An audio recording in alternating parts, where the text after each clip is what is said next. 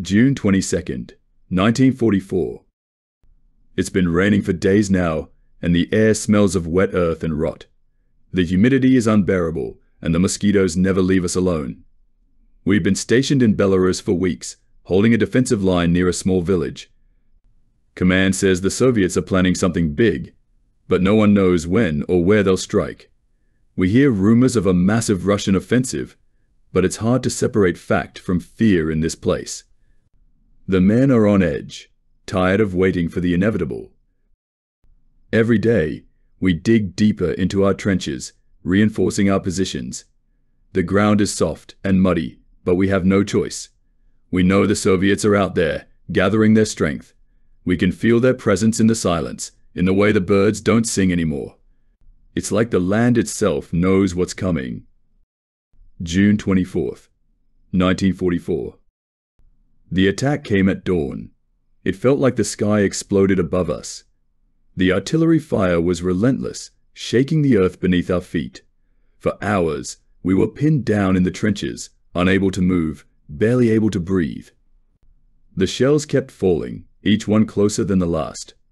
Men screamed for help, but there was nothing anyone could do. The sound of it, it's something you never forget. When the shelling finally stopped, the Russians came. I've never seen anything like it.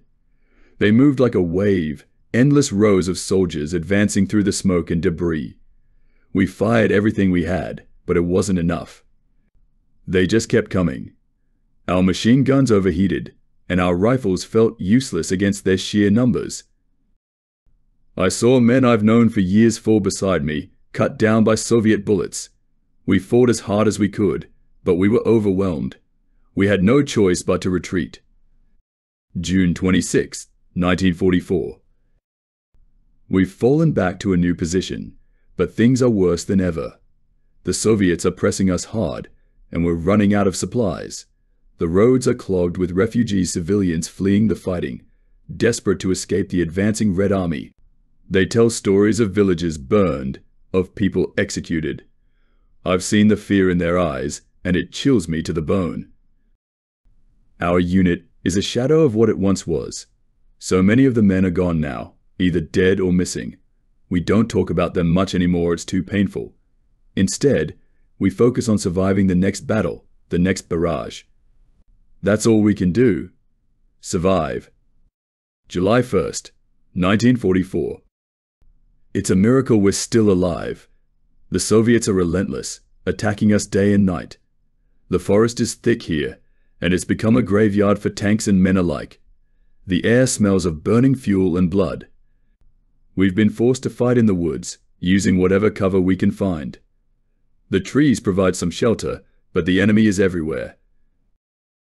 We've been cut off from the main force for days now. Supplies are low, and the wounded are piling up. We try to move them when we can, but there's nowhere safe. I can hear the men whispering about surrender, about finding a way out of this nightmare.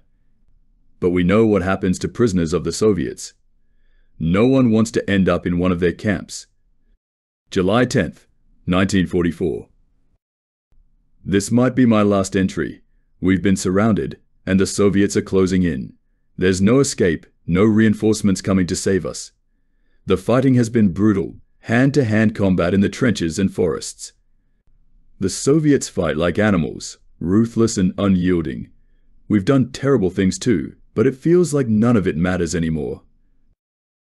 I don't know how much longer we can hold out. Some of the men have started burning their papers, destroying anything that could identify them as soldiers. I don't know what's worse dying here or being captured by the Russians. Either way, this war feels like it's already over.